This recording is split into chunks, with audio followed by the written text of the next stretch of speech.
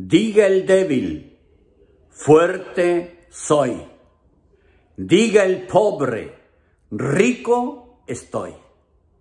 En medio de las circunstancias, ponte en pie y da gracias, creyendo que tu oración, que tu clamor es escuchado por el Señor y que Él produce en ti el más grande, inolvidable milagro en tu vida. Aleluya. Bendecida tu vida. Bendecida tu vida. Recibe nuevas fuerzas. Nuevas fuerzas en ti. En el nombre de Yeshua.